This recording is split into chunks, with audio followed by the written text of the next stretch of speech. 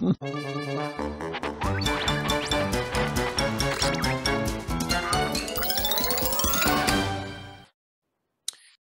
something in my collection, but what is it?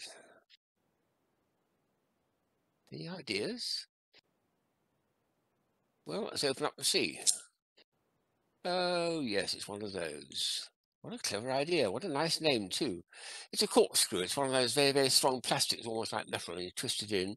But it folds very nicely, and I do like that jokey name to say it's um, a thirst aid kit. That's nice. So I have got a few of these. I'll show you just a couple of these folding ones. I've got lots more. I think I'm going to start searching for them. Um, but I've also got a couple of joke ones to show you and, and just a couple which I use. This is a very, very nice uh, folding one. Look at that. That's such a nice, comfortable thing to feel in the hand and to put in your pocket with no trouble at all. And it's so it's got nice, nice rounded edges, and it opens it into a sharp corkscrew, so it's got to be protected from the pocket. And all you do is turn it for a right angle and switch it on can get it in instead. And that's now a working corkscrew. We'll go into a bottle and turn it, turn it, turn it. But that's a very nice design and a lovely feel to it. It just flips like sideways. It's so clever that. It's such a nice feel to it. Uh, and in that in the pockets, that's a, that's a very, very nice travelling corkscrew. So two travellers.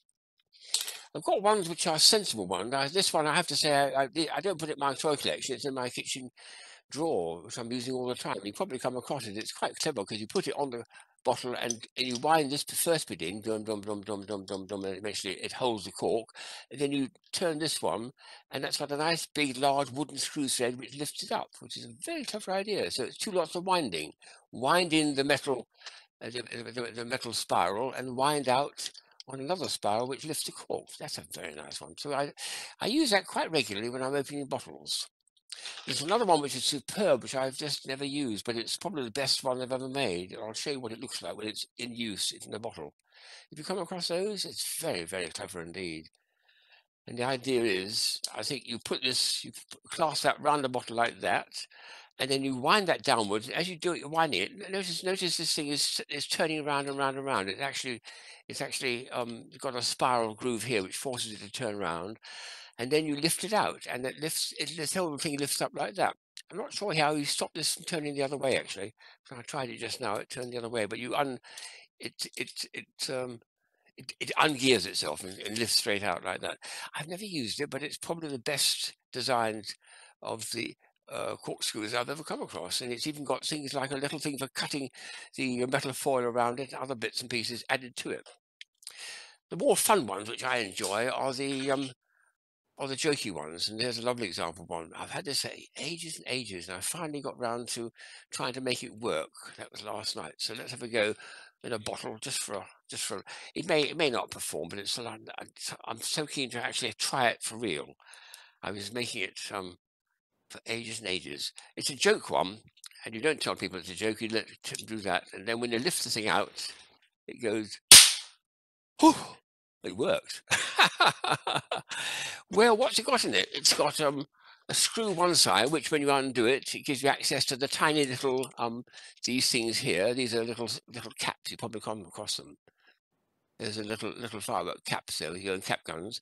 And the other end's got a plunger, which is now forced itself across. But when it's pulled back again, this will go all the way back in again. And as you pull that down, it releases the plunger. It hits the. Well, what a lovely idea, isn't it? Good one.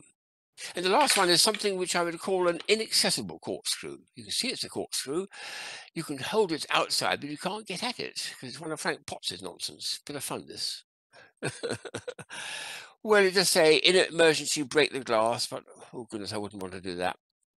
What you're supposed to do really with it is work out how on earth he got that in there. It's got very clever as well, but for this purpose, it's a it's a joke one.